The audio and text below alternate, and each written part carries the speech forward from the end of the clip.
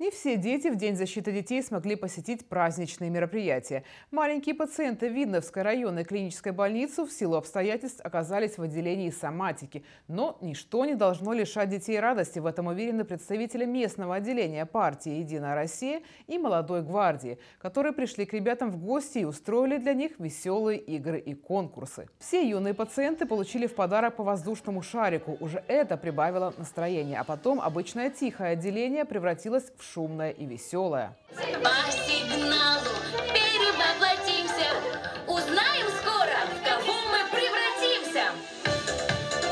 Родители старались запечатлеть самые яркие моменты на свои мобильные телефоны. Еще бы такого праздника в стенах больницы они не ожидали. А доктора уверены, это лучше любого лекарства. Иногда 15-20 минут вот достаточно, чтобы поднять жизненный какой-то тонус, настроение. Мы любим эти праздники, у нас в отделении они всегда проводятся и проводились ранее. Представители «Единой России» и молодогвардейцы каждому пациенту вручили сладкий подарок, а добрая комната благодаря им пополнилась настольными играми.